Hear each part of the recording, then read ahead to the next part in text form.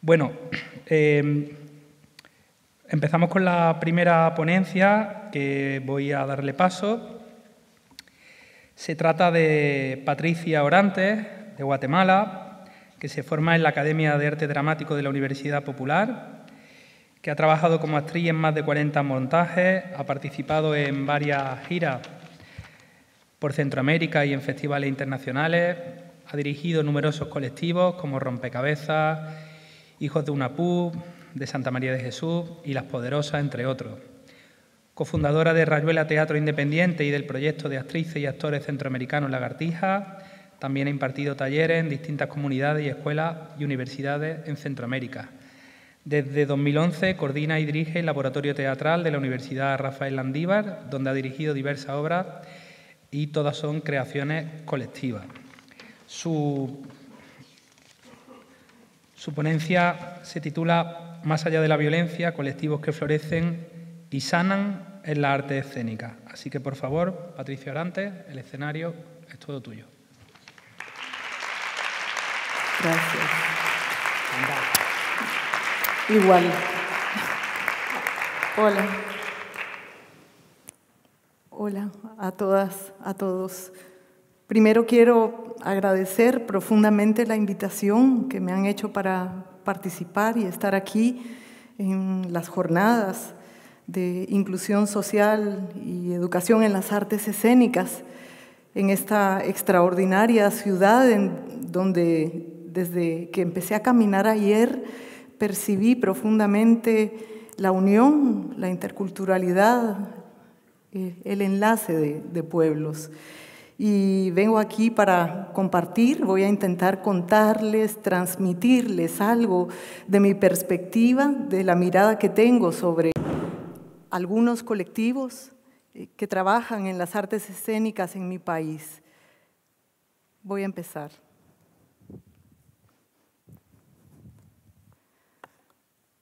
Mi país, que también podría llamarse lugar de muchos árboles,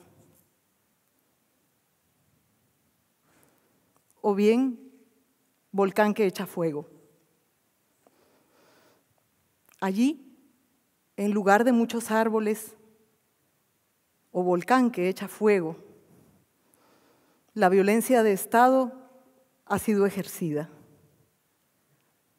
Para citar un ejemplo reciente, recordemos a las 56 niñas atrapadas en el Hogar Seguro Virgen de la Asunción perteneciente y administrado por el Estado, en donde 41 de ellas murieron calcinadas. Otras están heridas. La mayoría de esas niñas pertenecen al 66,7% de la población guatemalteca que vive en situación de pobreza o a ese 53% de la población que no tiene para comprar alimentos.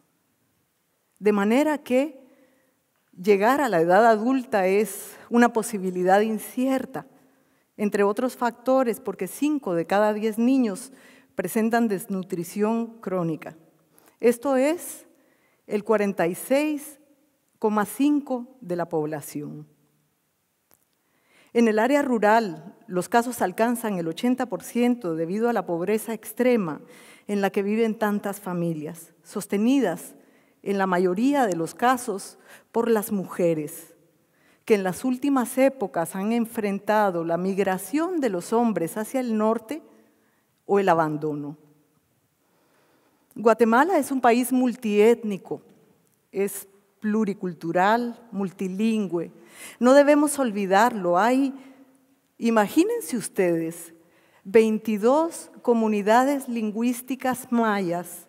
Está la comunidad xinca, la garífuna y la mestiza. El convenio 169 de los pueblos indígenas de la Declaración de las Naciones Unidas sobre los derechos de estos pueblos no se ha cumplido. Han pasado 23 años desde que se firmó la paz, una paz que no hemos conseguido construir.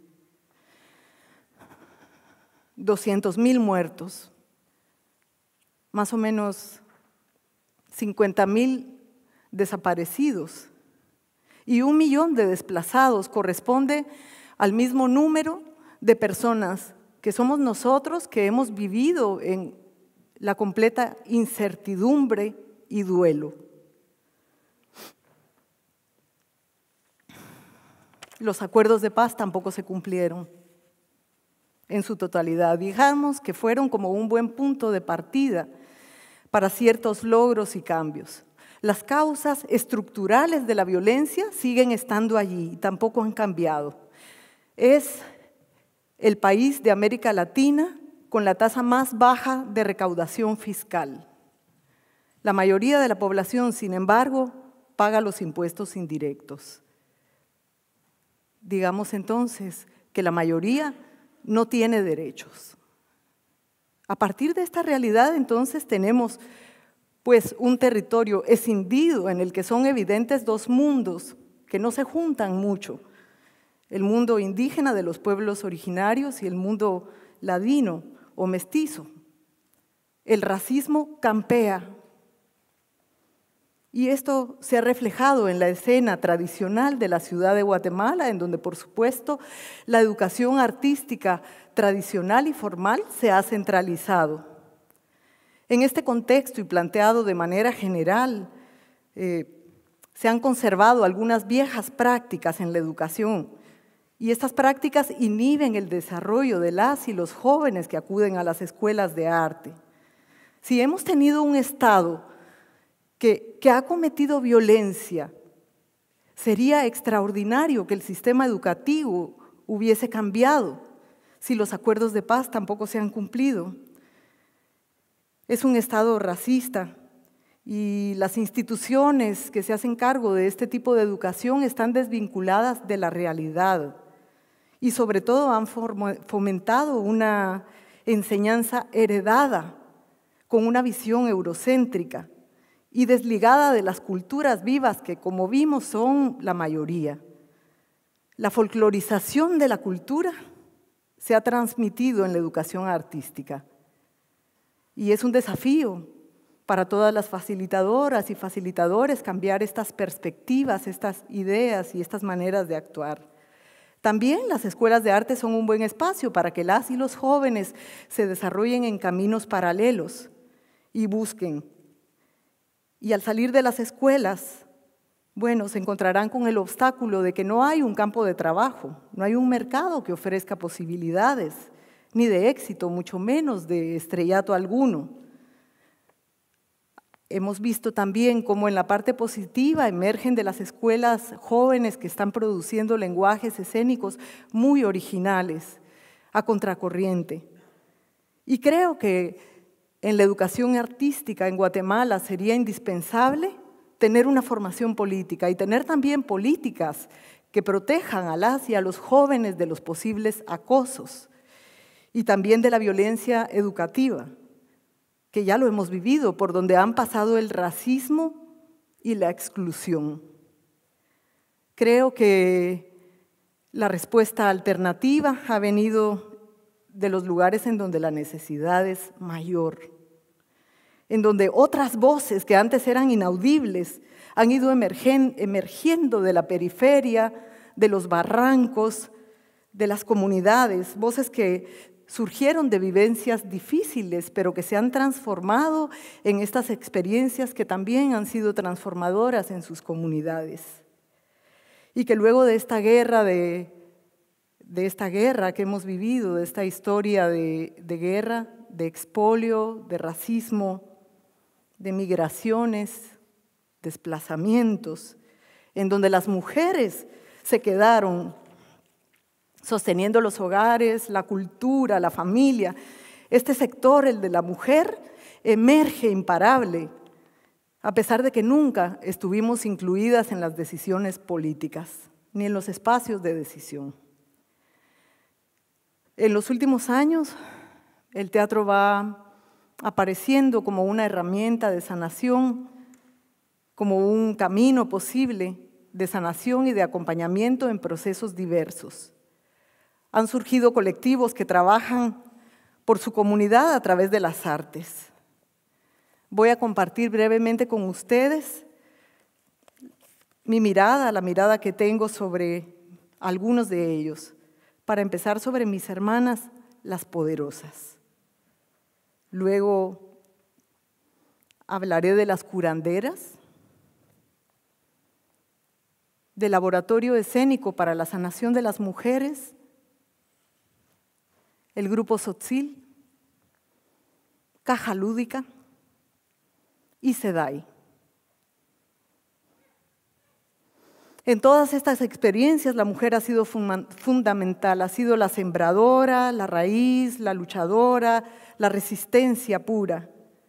En todas las que voy a compartir ha habido una o dos personas que yo considero como la llama que enciende, que comparte, que permanece por un tiempo largo. Eso sí, en todos los casos la llama permanece por un tiempo largo compartiendo sus conocimientos, coordinando el proyecto para luego, de manera coherente, permitir y trasladar para que el colectivo viva solo, por sí mismo, una sembradora cuyo compromiso ha ido más allá del contrato, más allá del proyecto. Las cinco experiencias han sido atravesadas por el sentido comunitario de los pueblos de Guatemala. Dos de los colectivos trabajan en la capital, dos de ellos en otras comunidades. Yo quiero darles las gracias a ellos y a ellas por permitirme ser solamente una voz que traslada y espero no equivocarme. Y empezamos por las poderosas teatro, que se conformaron en 2008. Con ellas hemos caminado a lo largo de los años en busca de nuestra emancipación. Ellas son mujeres sobrevivientes de violencia. Adelma Cifuentes, Lesbia Telles, Telma Ajín, Telma Sarceño, Rina Najarro. Rosa García, acompañada siempre, todo el tiempo por sus hijas e hijos. Ellos son Melanie, Eva, Javivi, María, Rina, Pollito y Emanuel. Ellas estaban asistiendo a un programa de terapia que incluía el teatro como herramienta de sanación. Allí vemos a Lesbia y a Adelma.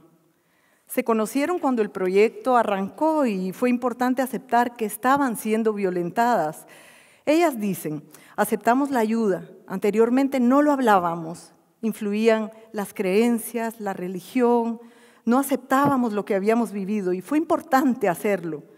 Yo quería ayuda legal, desconocíamos las violencias, las microviolencias que estábamos viviendo. La terapia fue el cambio cuando sentí que algo se estaba aclarando, me dijo Lesbia, quien en los últimos años ha coordinado el grupo.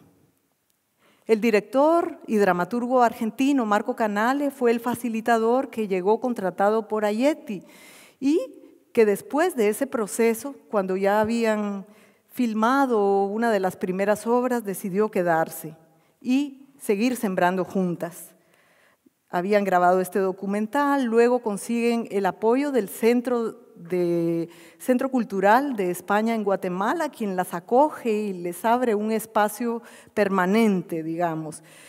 Eh, estamos hablando de 2009, el momento en el que invitan a la socióloga y feminista Silvia Trujillo para que facilitara talleres de género y de feminismo, y a mí, pues para el entrenamiento actoral.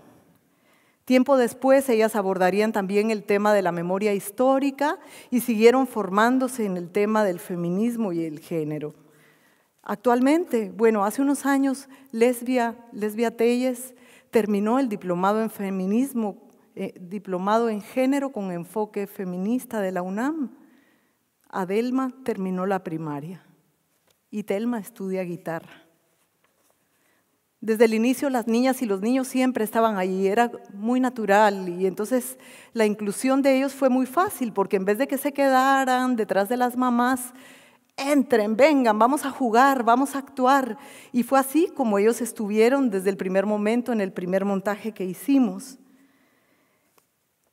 El montaje de la obra Las Poderosas, que es una obra de corte autobiográfico y documental impactó al público, en el que ellas contaban sus historias.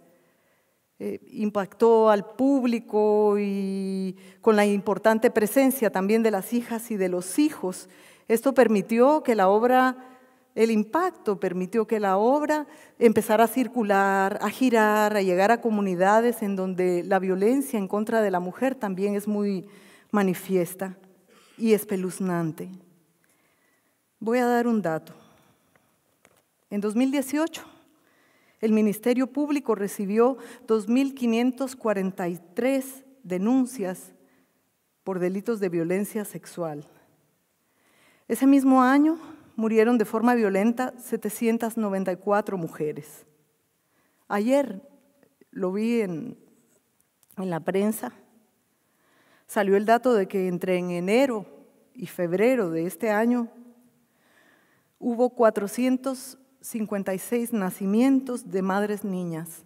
Ellas tienen entre 10 y 14 años. Telma Sarceño, una poderosa, considera que ella ha sido un agente de cambio en su propia familia. Ella dice, fui agente para mis hijos, mi mamá lo había sido para mí. Telma Ajín dice que el teatro ha transformado la vida de sus hijas e hijos y que de no atreverse a hablar han pasado a ser personas que miran de frente, que son directos y que ellos y ellas no van a hacerle daño a nadie. Esto va a impedir que hagan daño a otros, porque ellas y ellos entonces también van a ser agentes de cambio. Eso me dijo Telma. Y es así como las y los hijos ya han hecho dos obras. Ahí los pueden ver pequeñines. En las orillas están Melanie y Emanuel. Y esta es la obra que hicieron el año pasado, ahí están en medio. Vean cómo crecieron. y están haciendo teatro. Y quieren seguir. Bueno, tiempo después, eh, en paralelo a estos procesos de formación que ellas continuaron, y después de que recibir la reacción de tantos públicos, de tantas mujeres, después de las presentaciones que empezaban a hablar, hizo surgir la necesidad también de que las poderosas, era una necesidad orgánica, de que ellas compartieran con otras lo que habían recibido y que lo hicieran de manera más profunda. Se convierten en facilitadoras desde 2011, imparten talleres a organizaciones de mujeres y en comunidades mayas y afrodescendientes en barrios, escuelas e institutos. Y a medida que otras son capaces de nombrar la violencia y de fortalecer su organización comunitaria, se fortalece la propia sanación en un territorio que, como decíamos al inicio, necesita sanarse, necesita sanarse. La creación de una metodología también fue algo importante, fue un paso en su desarrollo. En paralelo a todos estos procesos de creación, de formación, viene la creación de la obra naciendo, que fue muy importante también en el camino, porque la profundidad a la que se llegó era debida a que buscaron en su propia historia, indagaron en sus propias sexualidades, buscaron en sus madres, en sus hijas e hijos y en ellas. Y en ellas y en las sobrevivientes de violencia sexual, como las abuelas de Sepur Zarco. Allí aparecieron los temas de la guerra y el origen que las llevó a descubrir su propio origen indígena negado. Y eso fue extraordinario. También esta obra la dirigió Marco Canale y la escribió. La poesía visual, la sinceridad de los cuerpos, pues atrapaban al público. Ellas estrenaron en 2011 y fueron invitadas al Festival de Teatro de Cádiz, en donde recibieron la distinción de la GLO. En 2012 ya nos habíamos constituido como una asociación legal. La permanencia y la sostenibilidad en el tiempo, y eso lo sabemos todas y todos los que hemos trabajado en colectivo, son muy difíciles de conseguir. Y Siempre hay crisis, separaciones, personas que se van y que vienen. Nosotras juntas hemos vivido esos duelos y yo creo que, y las crisis naturales que puede vivir cualquier colectivo y, o asociación. En el caso de las poderosas, las crisis fortalecieron, fortalecieron al grupo, porque había algo que no podía ir en retroceso y que ya se estaba dando. Y cada una, y que era la facilitación de talleres y que era el compartir con otras. Y cada una en ese proceso debía asumir las tareas que según su vocación quería y debía trabajar. Lesbia me dijo antes de venir, nadie nos puede empoderar, nadie. Somos nosotras a través de los conocimientos y de hacernos valer. Como sujeta a este proceso, también me ha ayudado en la parte profesional, me ha permitido seguir con el estudio y la preparación. Cuando yo les pregunto, ¿qué les ha hecho permanecer? Porque esto de la permanencia es tan complicado y ellas no dudan y me responden, y estas son palabras de todas. Es por las otras.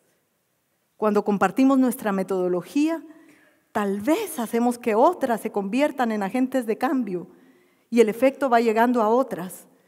También seguimos por agradecimiento, por lo aprendido y lo vivido, porque creemos en este proyecto y en el impacto que hace. Otra cosa es el intercambio, es el aprendizaje que va de ida y vuelta. El echar y que me echen la mano. Y aunque falta mucho, siempre falta. Y está la dificultad de entender las dificultades porque la diversidad ha costado. Nos buscan por ser un colectivo feminista, pero no todas tenemos la misma convicción. Debemos construir un discurso común. Estamos en eso. Las poderosas están trabajando ahora en varios proyectos, estamos en la etapa de investigación de una obra nueva en la que se refleje el derecho a defender derechos. Estamos trabajando junto a las defensoras de derechos humanos del área de Occidente de Guatemala. Adelma dijo, ella dice, aquí todos los días hay balazos, hay mucho machismo y muchos problemas. Hay que hacer algo y no quedarnos calladas. Y a mí ahora, ¿quién me calla? Y vamos a ver a Adelma.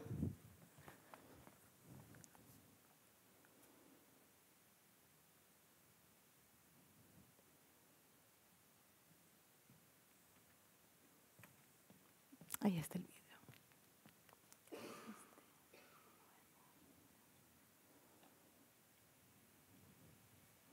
Gracias.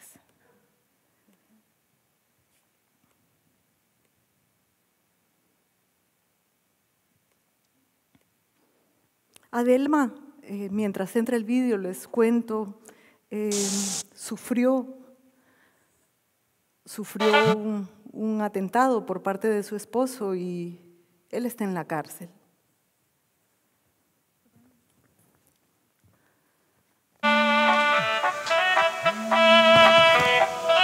¿Cómo? ¿Aló? ¿Cómo está?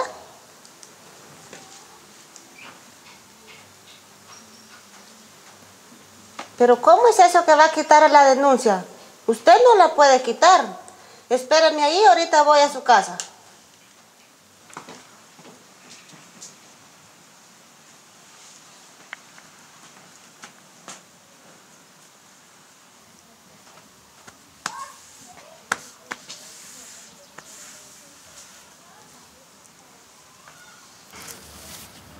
Muy feo esto.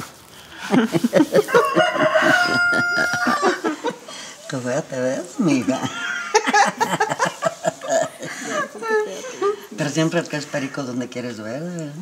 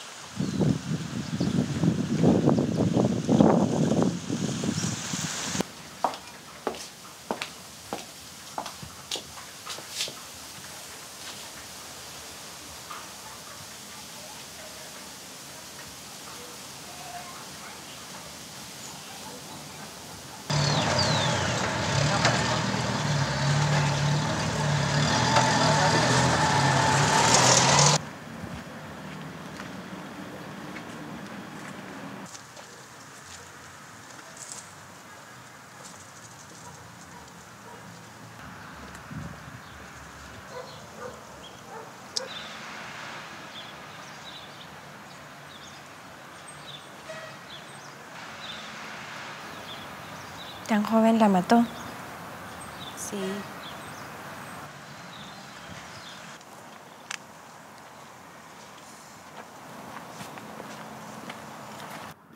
Lo hacía por mis hijos, por tener un hogar, porque yo estaba unida, yo estaba unida en matrimonio con él. Por eso fue, por eso fue que yo no lo quería, yo no lo quería dejar hasta que me mató, hasta que me mató.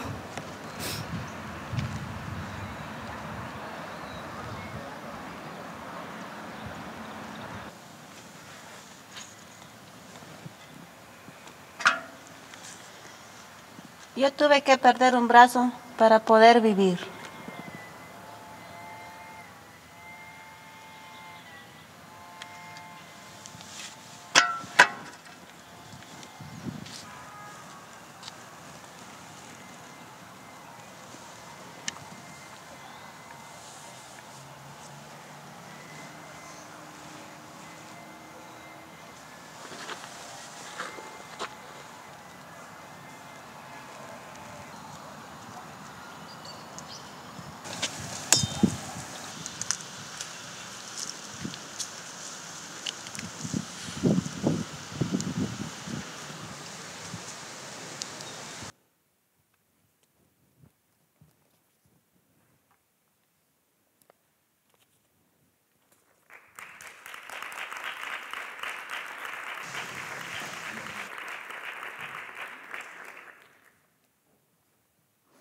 Santa María de Jesús es una comunidad indígena, rural, maya cachiquel.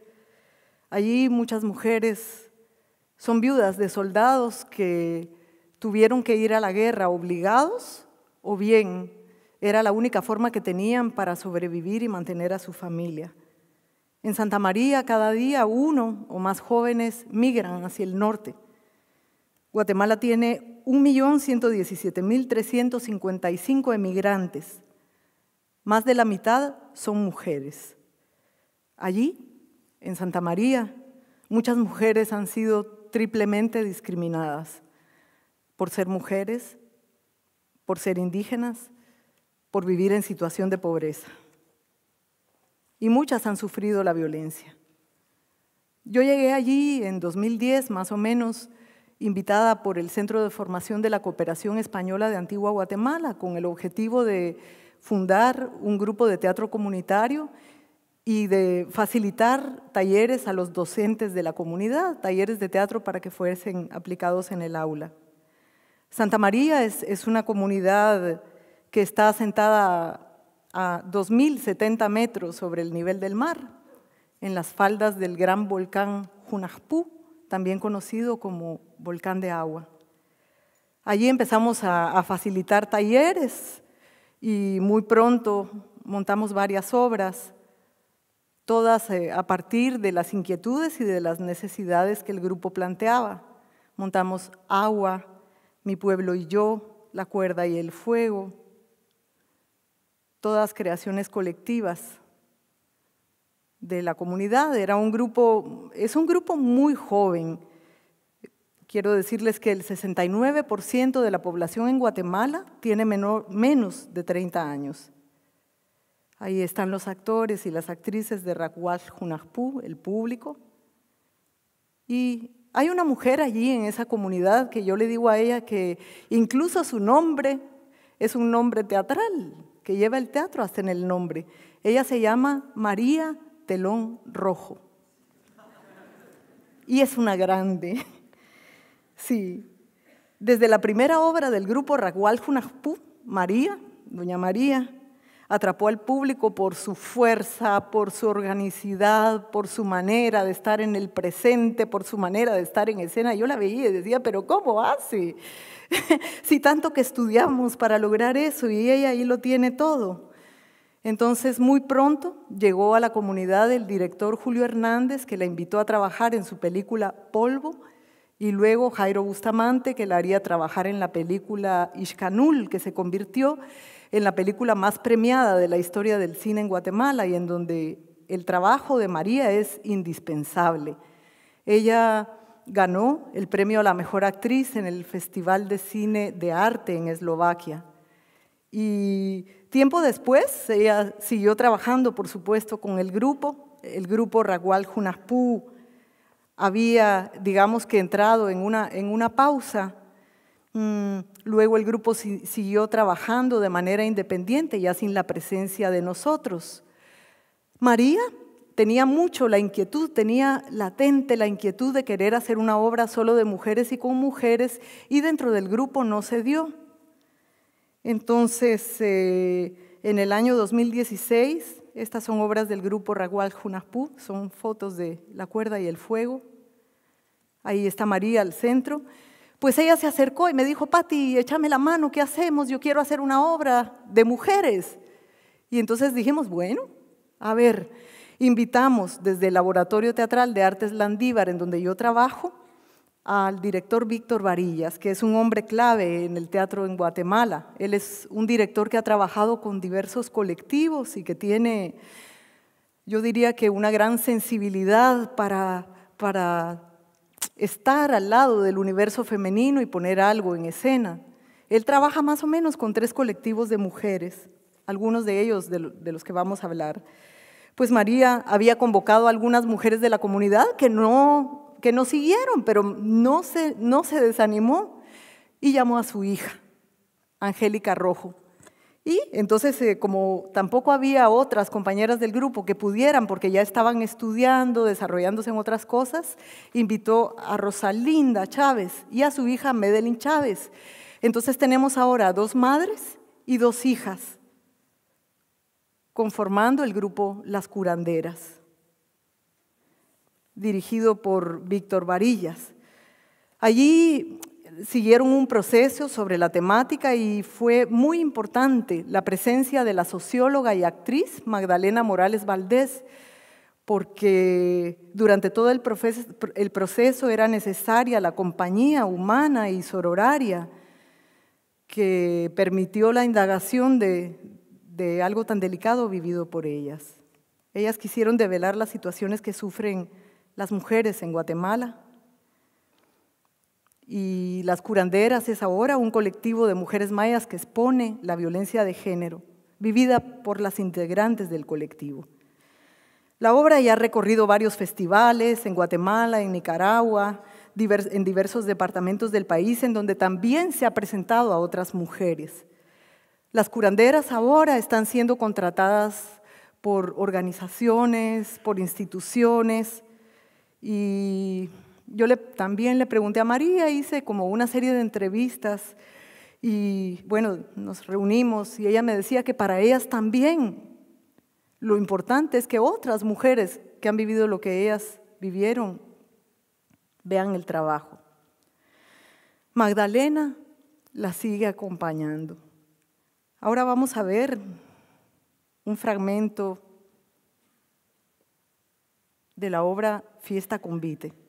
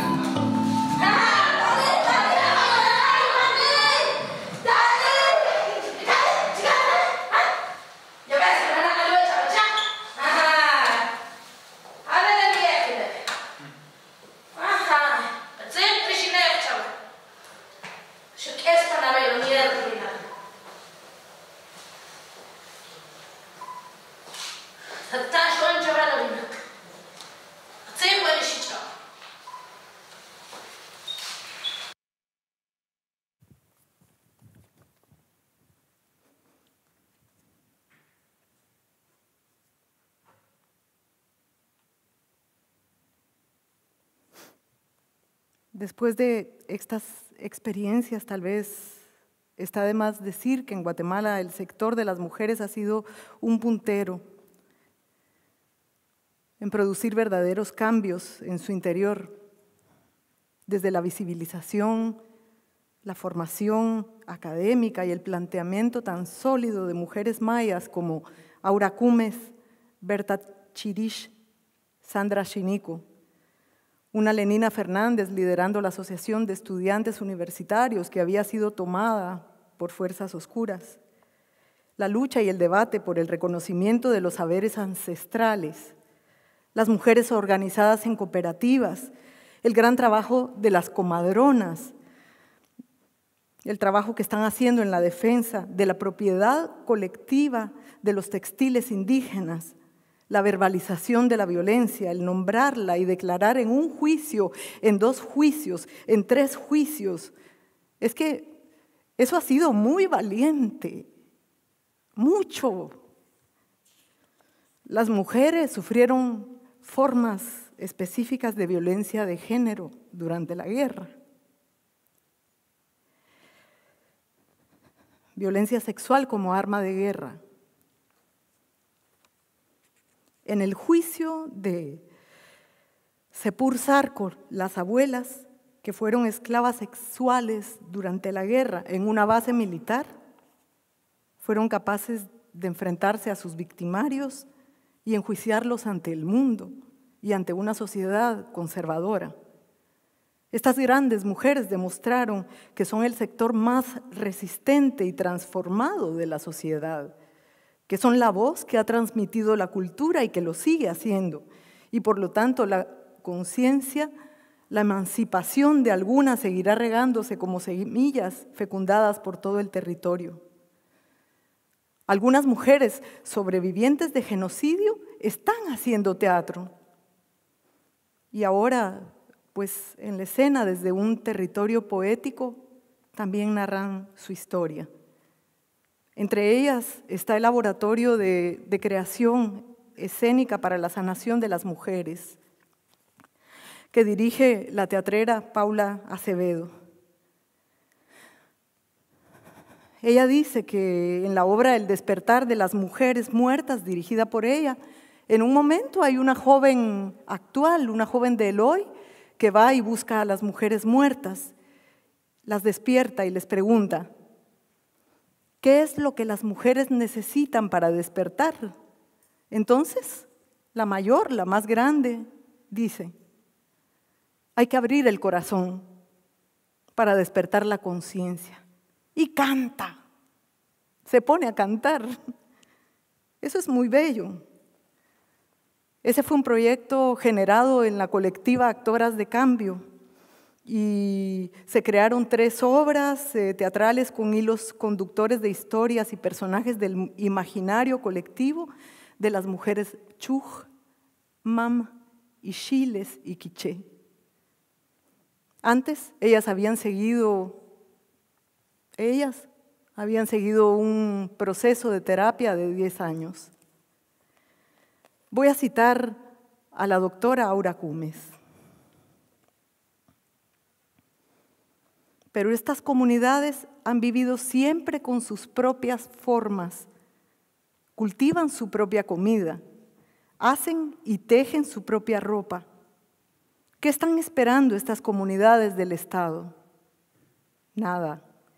¿Qué se le puede pedir a un Estado colonial? ¿Cómo vamos a crear y mantener formas organizativas para regir nuestras propias vidas?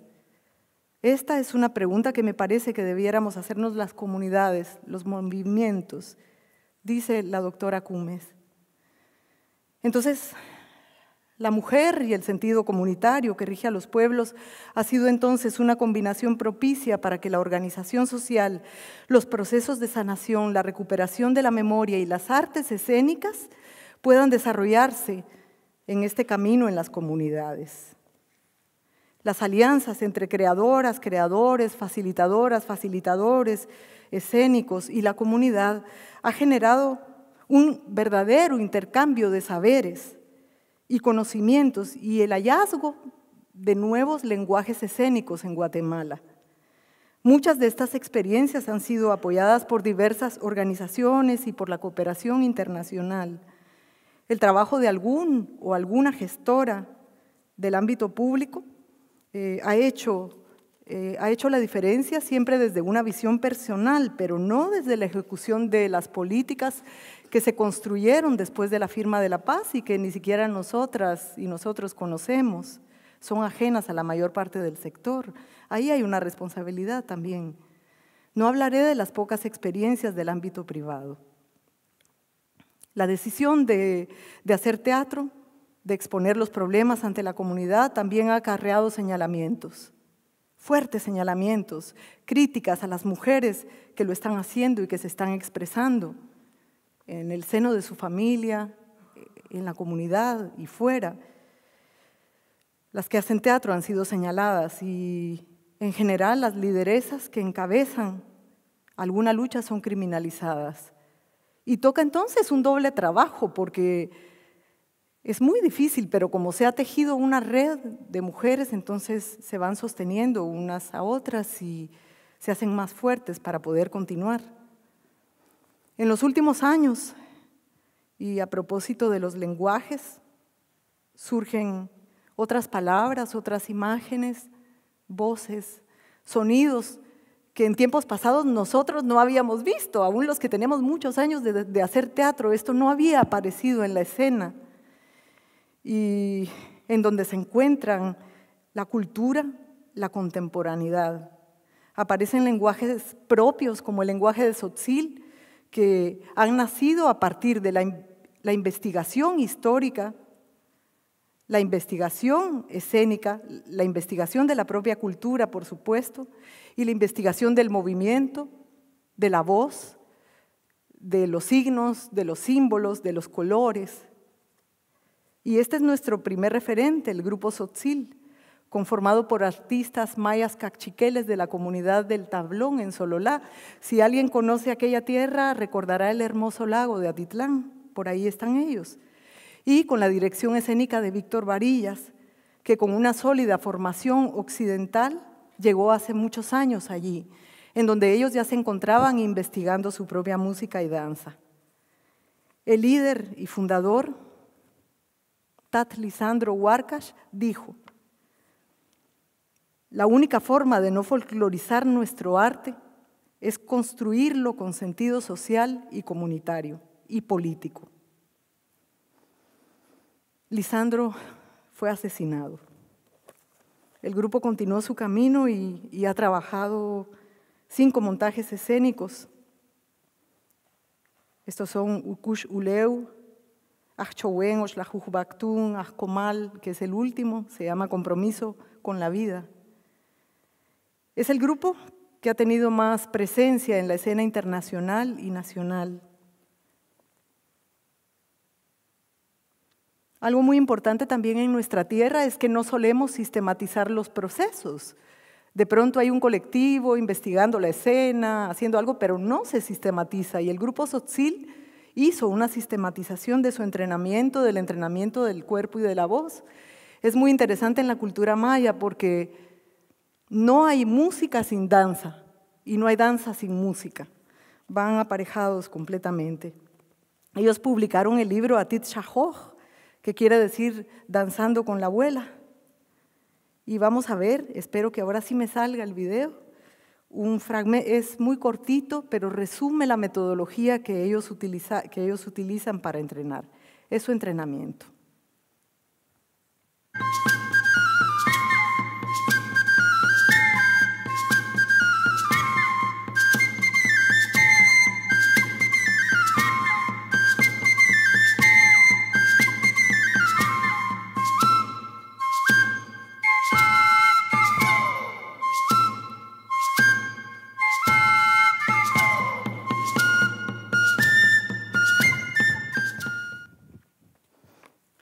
Eso es.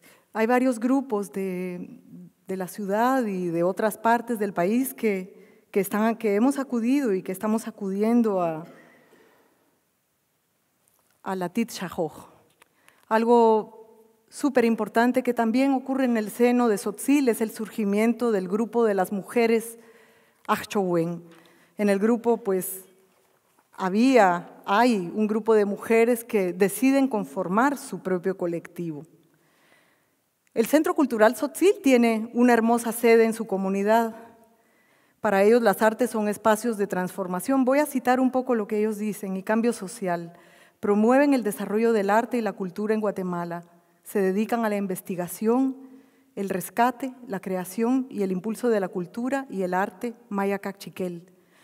También tienen vínculos con otras culturas dentro y fuera de Guatemala. Trabajan con las comunidades, la mujer, la juventud y la infancia maya, la sociedad guatemalteca y la comunidad internacional. Pues el grupo Achowén también ha sido un grupo que ha girado y se ha movido y que empieza, es un grupo más reciente, de conformación más reciente, pero muy importante. Y para cerrar con Sotzil, vamos a ver un fragmento de, de, una, de uno de sus montajes más importantes, que es Ukush Ulev.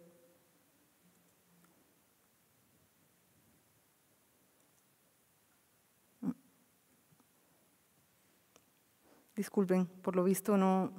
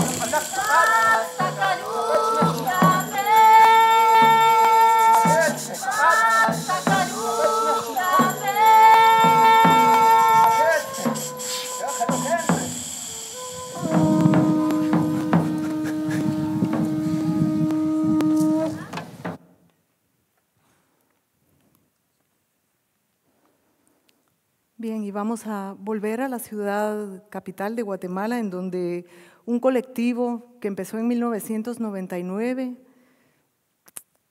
ha tenido un impacto importantísimo en, yo creo que en la vida de, la cultura, del espacio público. Y es cuando llegaron, se fundó gracias a, a la llegada de Julia y Dorian, que venían de una larga experiencia en Medellín a partir del momento en el que empiezan a trabajar con colectivos de arte urbano, se riegan los zancos. En Guatemala no había zancos y ahora hay una comparsa anual que se llama Chitic. La foto es parte de ello. Ellos trabajan con varios colectivos, organizaciones y les voy a poner el, el video. Trabajan tanto en la ciudad como fuera y vamos a ver en sus palabras lo que ellos hacen.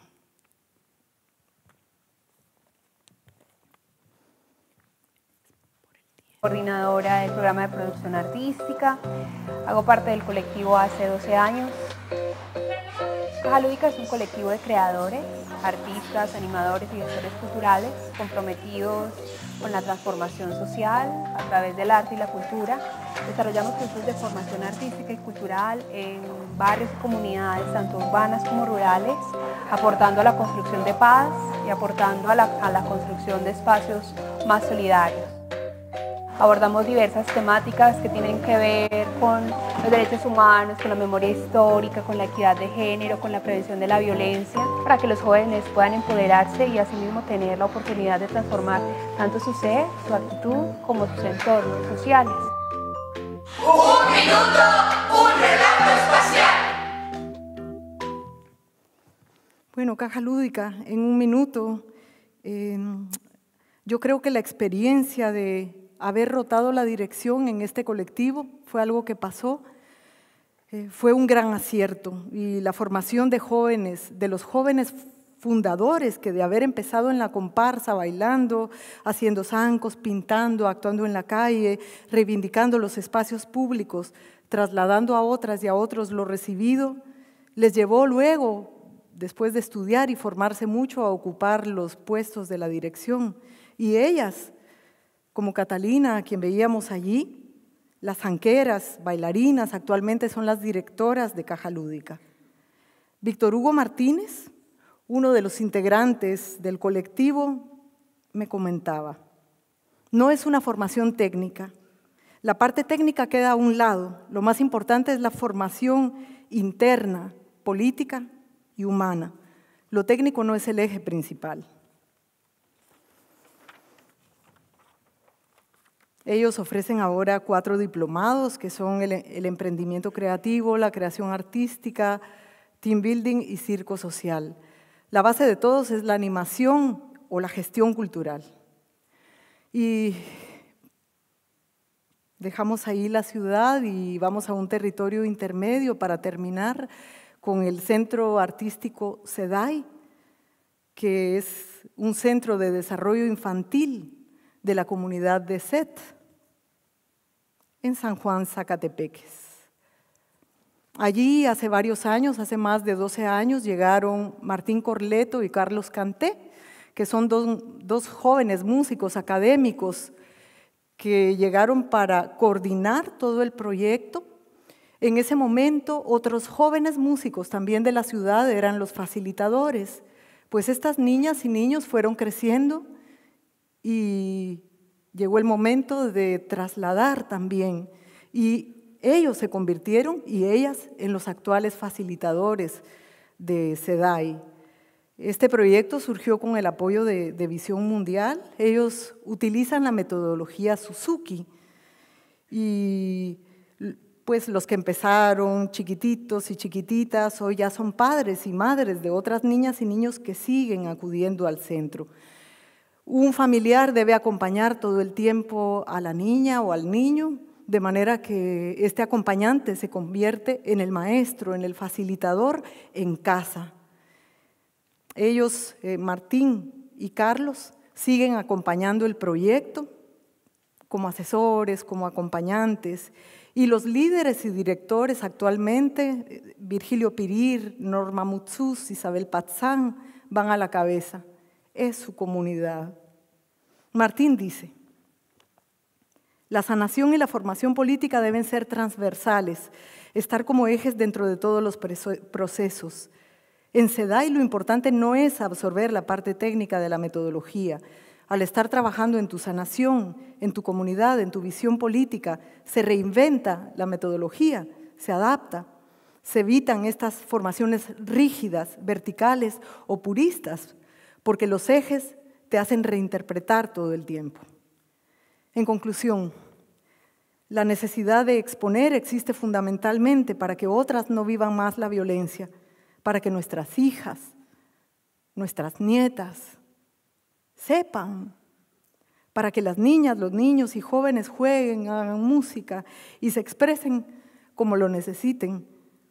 Y en el cultivo del arte como herramienta también llegará el conocimiento de la propia historia y de los derechos.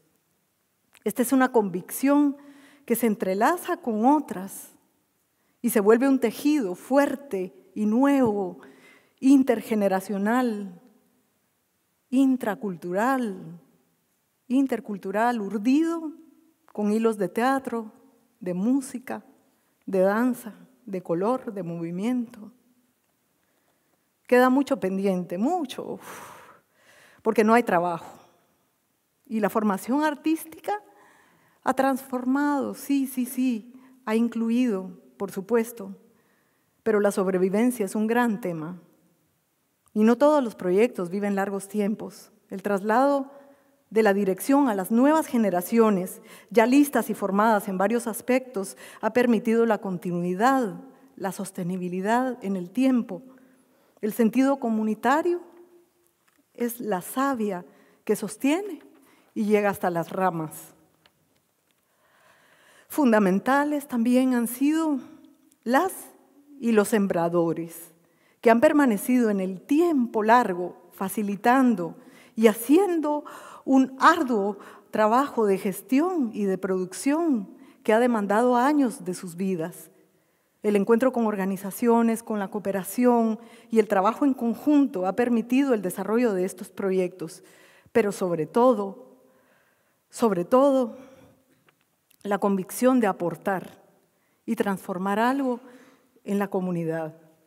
Vamos a cerrar ahora con, con la música con la música de la orquesta Sonidos de Esperanza, integrada por estas niñas y niños y jóvenes.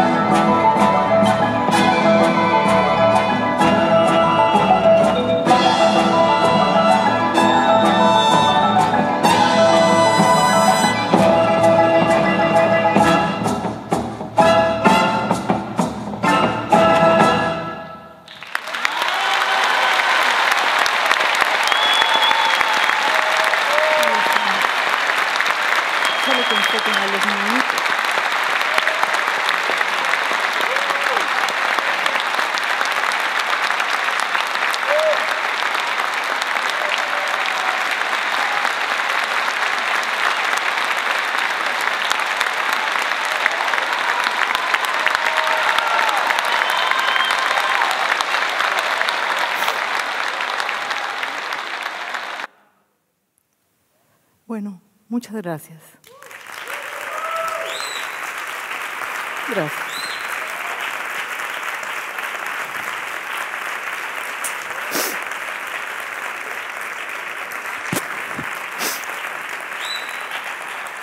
Adiós.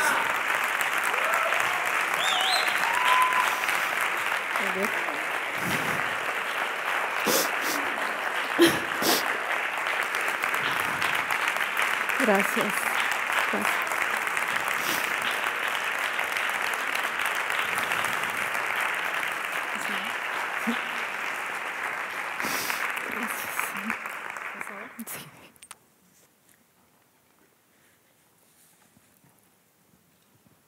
¿Estás bien?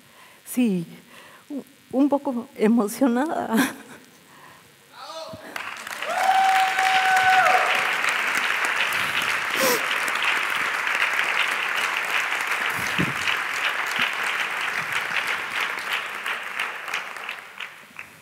Me toca mucho mi tierra.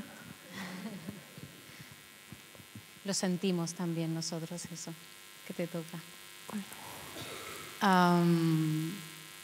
Hago una intro y así también te doy tiempo para poder respirar. Yo te, te quería dar las agüita. gracias. Claro, es, es para ti. Ah, bien. Sí, sí. Sí. Ese Te es mi quería- clown. Te quería dar las gracias por inaugurar las jornadas con, con una, con una ponencia que, que ha estado navegando ¿no? entre diferentes islas. Nos has acercado contenido, has puesto sobre la mesa claves que conforman estas rutas de las que queremos hablar para hacer posibles los proyectos y las historias. Y, nos has tenido muy conectados con una emoción muy real, ¿no? y me agradezco empezar así, porque no siempre lo conseguimos. Eh, las jornadas este año querían visibilizar los rostros femeninos, visibilizar a estas sembradoras, las que aran, las que cuidan, las que riegan y las que permanecen, y creo que tu intervención ha sido fabulosa a ese nivel. Me ha- me ha tocado mucho que hayas nombrado a cada protagonista, que, nos hayas podido acercar tu mirada y al mismo tiempo no olvidar que todo eso está conformado por un montón de personas que, que siembran cada día. Y te quería preguntar una cosita al respecto de las poderosas. Ir pensando preguntas que después os lanzo el micro. Cuando trabajáis con mujeres que son tan vulnerables y cuyos derechos han sido absolutamente expoliados, entiendo que aunque encuentran en el teatro una posibilidad de voz, de sanación y de, crear comunidad, todo eso, ese compromiso que están poniendo ahí, ese tiempo, esa dedicación, debe de estar acompañada de otro tipo de, de elementos que, que les permiten sostener ese proceso que comparten con vosotras. ¿no? no sé si articuláis un acompañamiento a otros niveles o co- colaboráis con otro tipo de servicios para que ellas después les puedan dedicar ese tiempo y esa dedicación al- a los proyectos que hacen con vosotros. Sí, bien, primero fue la terapia. Eh, como dice Lesbia, eh, después de haber sufrido, ustedes vieron a Adelma allí, y Adelma tiene un sentido del humor y un desparpajo que yo soy seria, ella todo el tiempo que la terapia les hizo eh, primero la terapia, ¿verdad?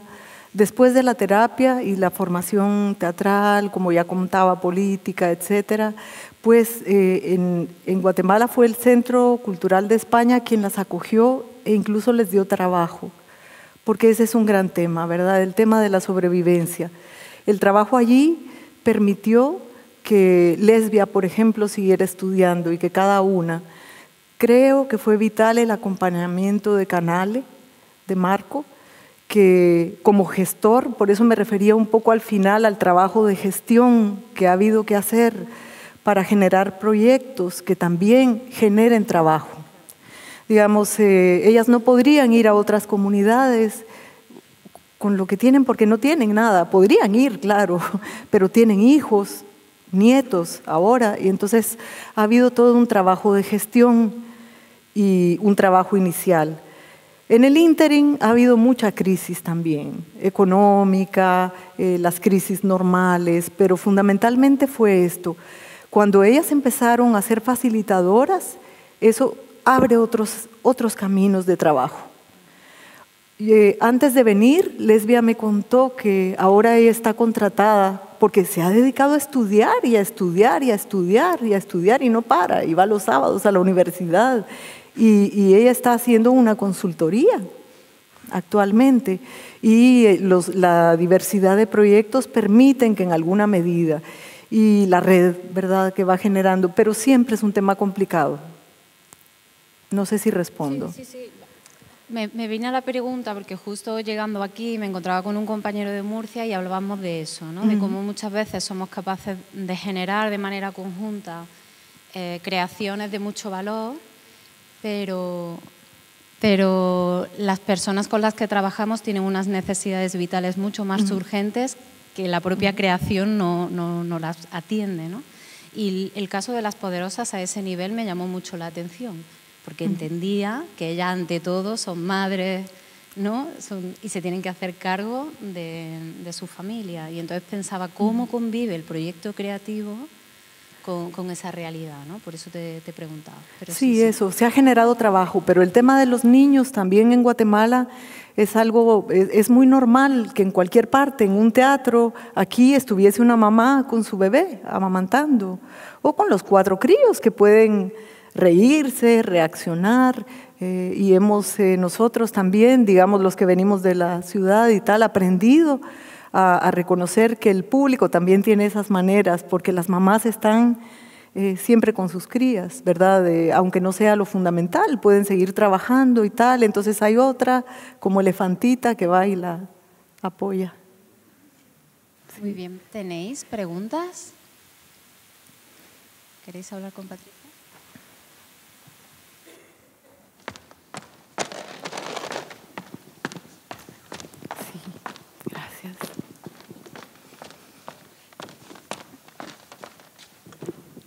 Mira, primero un millón de gracias por compartir tu, tu experiencia. Y te quería preguntar, mira, aquí en Córdoba hay una plataforma que se llama 15M Estos Desahucios, de familias que eh, se defienden frente a amenazas de desahucio por entidades financieras o por lo que sea. Y tienen, eh, la plataforma tiene una estructura que tiene unos grupos que se llaman de afinidad y apoyo mutuo y que están inspirados en los grupos de apoyo mutuo de Guatemala. Están inspirados en aquellos grupos con que trabajaban con aquellas familias que tenían un sentimiento de culpabilidad y que aquí conocíamos por algún testimonio, un libro de Carlos Beristain y alguna de afirmación y resistencia y todo esto. El caso es que estas familias pasaba que llegaban a la plataforma con esa sensación de culpa que muchas veces seguro que han sentido estas mujeres con las que tú has trabajado. La pregunta es, viendo lo poderoso que puede ser esta herramienta de las artes escénicas para trabajar con estas personas, ¿qué nos recomendaría para poder poner en marcha aquí, en este contexto europeo, en este contexto aquí de nuestra ciudad de Córdoba, pero con familias que también tienen esos sentimientos y que tienen que pasar por esos procesos de empoderamiento? ¿Qué nos recomendarías para poder poner en marcha ese tipo de, herramientas? Muchas gracias. Bueno, yo, creo que, lo primero, que aquí es un contexto bien propicio, ¿verdad? Este, este, estas jornadas son el lugar eh, justo, creo yo, como para empezar a, cruzarse con facilitadoras y facilitadores que tengan la sensibilidad y el compromiso y eh, la sensibilidad para saber que si todas no aportamos un poco para cambiar esto, ¿verdad? No vamos a ir a ningún lado. Entonces, acercarse, buscar. Eh, creo que las escuelas de artes escénicas también deberían ser como un espacio en el que, en el que podrían aparecer, porque son jóvenes, eh, alguna o alguno y, que les pueda contactar con, los facilitadores.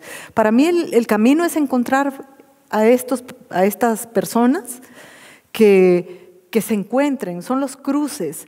Y hay instituciones, me imagino que habrá aquí instituciones que trabajan, ya sea eh, el tema de la violencia. Las instituciones creo que son clave, ¿no? Los grupos de mujeres, si es familiar, dependiendo del tema, creo que siempre habrá alguna institución y pedirles a ellos con suavidad que busquen esta otra ruta para vincular ¿verdad? A, la, gente de teatro. Porque créame que, que a la gente de teatro nos hace muy bien y lo necesitamos también, ¿no? Entonces, eso, y luego ya, digamos, eh, ustedes mismos, creo que todos los procesos deben ser siempre desde dentro, supongo que coincidiremos, y que cada contexto demanda y tiene sus propias necesidades y su propio camino que les irá dictando, ¿verdad? Apoyarse en la experiencia de otros, pero no olvidar que siempre... Eh, para mí las experiencias que contaba, las cinco, tienen esa característica, que el poder se cuestiona, ¿verdad? Una. Eso no viene al tema, pero lo, cito porque es importante, que se traslada a los jóvenes, que se traslada a lo local, que queda en el corazón. Entonces creo que hay que ir al corazón y allí, no sé si respondo en algo. Organizaciones, instituciones, ustedes tienen un Estado que responde, ¿verdad? Entonces también hay que acudir. Sí.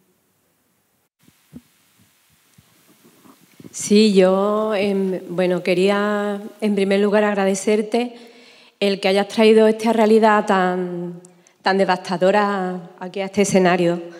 Eh, pertenezco a la Asociación Paz y Bien, eh, tenemos un grupo de danza y, a través de ese grupo de danza pues hemos ido rodando por Puerto Rico y en Guatemala. Actualmente eh, tenemos, apunta el nombre porque me cuesta trabajo, tenemos un, una infraestructura, centros para mujeres, para niños, eh, consultorios médicos en, que, es Altepeque, en Chiquimula. Eh, ahorita pues están empezando a trabajar eh, con los niños, niños con discapacidad, niños también sin discapacidad, empoderando a la mujer principalmente porque es la base, es la base del pilar de la sociedad em, hemos creado el premio a la mujer campesina y están indagando e investigando en el mundo artístico. Nosotros desde aquí, desde el grupo de danza, Sirdanza eh, de Sevilla, eh, pues intentamos ayudarle, pero también sería interesante el poder crear conexiones allí en Guatemala, porque son personas muy concienciadas, con formación y sobre todo con un espíritu social importantísimo y nos gustaría colaborar con ustedes en algún proyecto. Uy, muchas gracias. ¿Qué le digo? A ti. Bienvenida. Bienvenida, Bienvenida. a ti. Y además me encanta porque llevamos trabajando allí muchos años y nos ha costado mucho el que nos aceptaran porque éramos los españoles que veníamos allí a, no, sé, mm, a no sé qué creían. Y lo primero que hemos hecho es pues, eh, dedicarnos a, a crear pues, lo básico un comedor social, eh, eh, dar medicinas y, luego, sobre todo, la educación.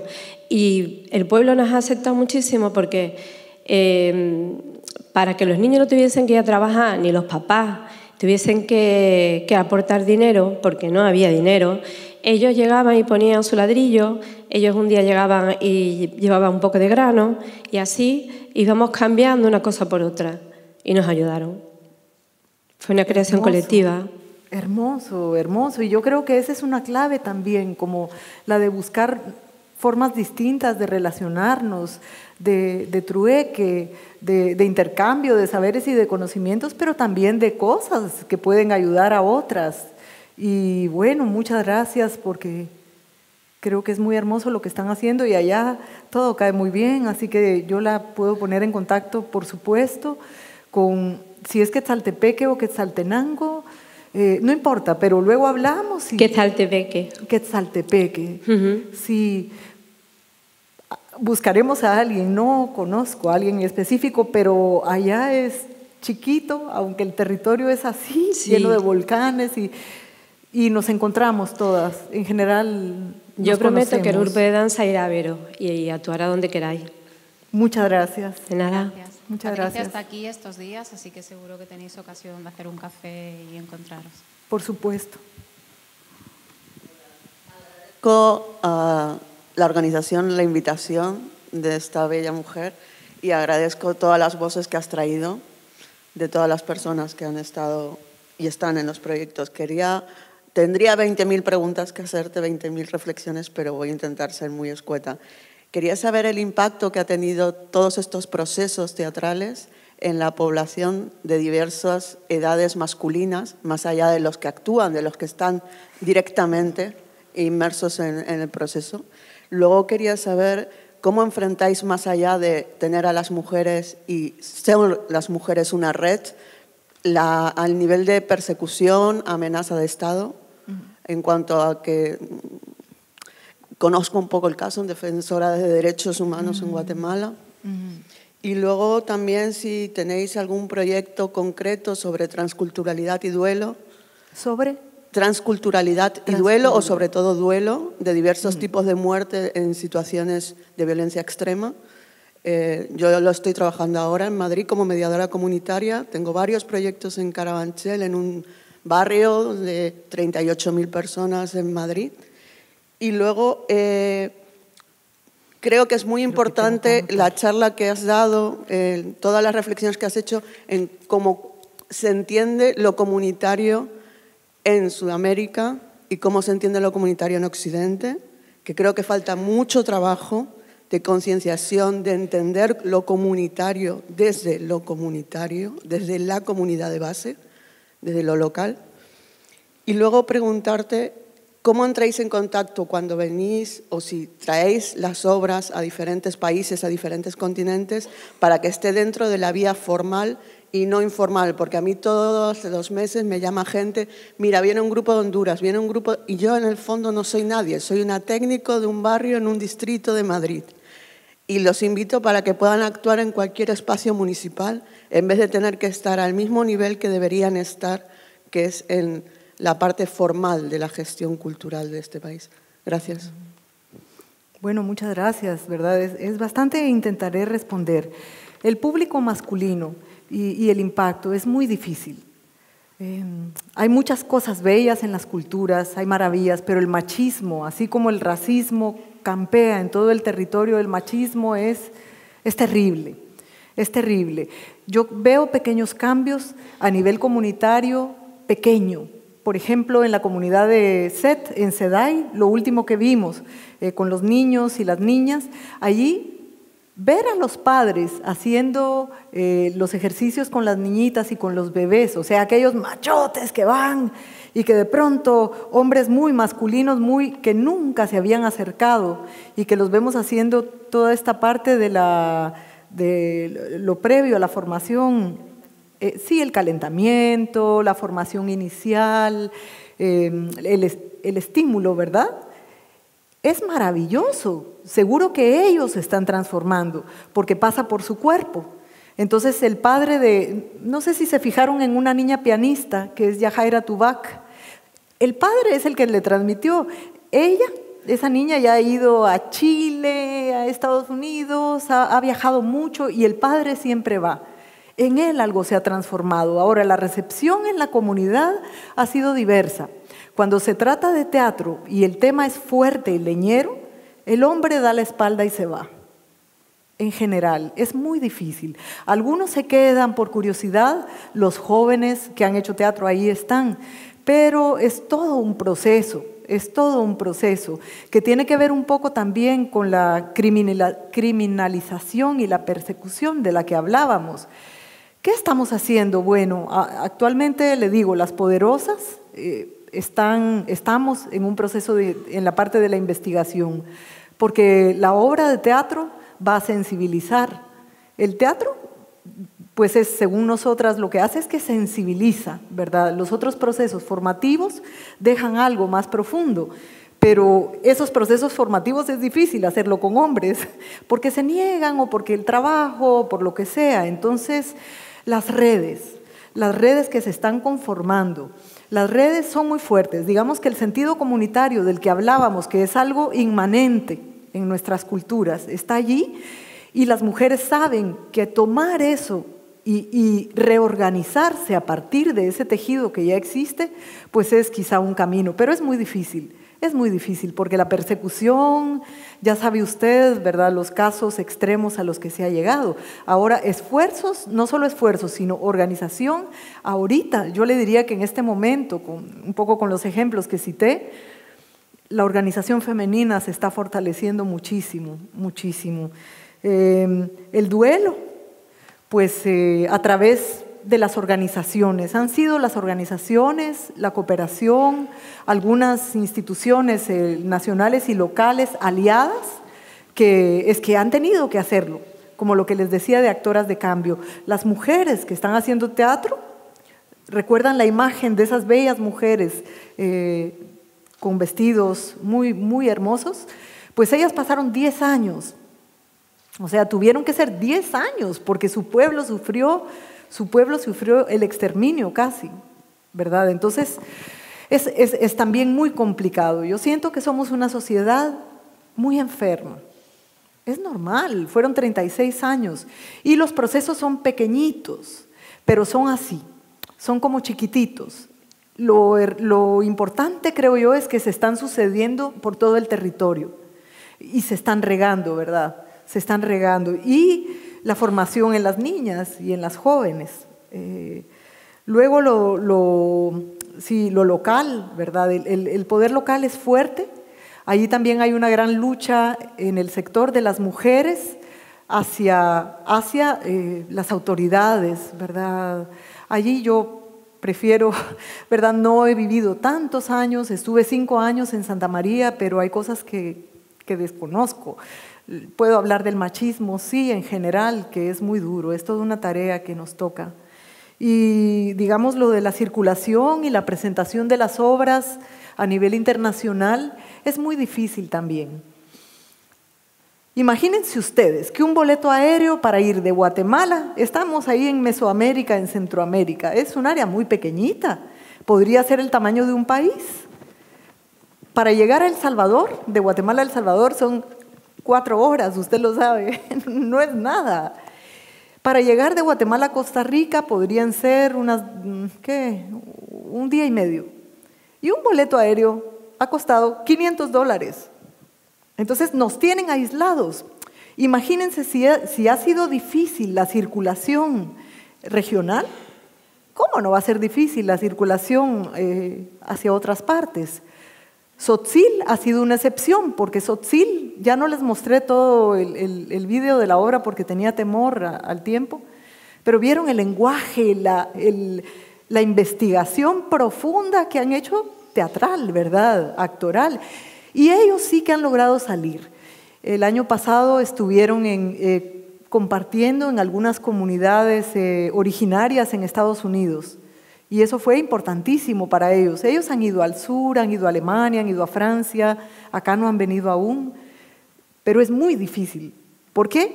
Porque ¿quién va a sostener el pago de esos billetes aéreos? Aunque vayan en clase de turista, ¿verdad? Y cuando sean grupos grandes, es complicado porque no hay políticas culturales, que es lo que decía, que, permitan. Eh, en, en ese sentido, el Ministerio sí ha apoyado algunas giras y está apoyando pues algunos, algunas personas desde lo individual. Pero mover un colectivo es complejo porque imagínense si la gente no tiene para comer, si estamos trabajando apenas para conseguir la sobrevivencia o dedicando las otras horas que te restan para el trabajo colectivo. ¿Verdad? Hablo de este sector, entonces eso es complicado. También ahí el sector nuestro, porque no podemos solo quejarnos, tenemos una, una deuda nosotros mismos, nosotras, y es la de visibilizar, y es la de generar, la de exigir políticas, ¿verdad? La de incidir, tenemos pendiente la, incidencia. Estamos, eh, solo como anécdota, ahorita estamos conformando una red de mujeres de la escena, pero no la había no la había. Imagínense lo escindidos que quedamos. O sea, es un pueblo escindido. una guerra detona y deja todo desperdigado. No sé si respondo. Muchas gracias. Eh, lo vamos a dejar aquí. Bien. Gracias, Patricia, porque a las 7 empezamos Musicircus, como sabéis. Musicircus es una propuesta itinerante de varios eh, colectivos de la ciudad en colaboración con centros de formación artística de Córdoba, esto que hablabas de crear conexiones. Ha sido un reto porque nunca habían colaborado juntos y nos van a ofrecer una serie de, de, pequeños em, experiencias artísticas en el espacio público.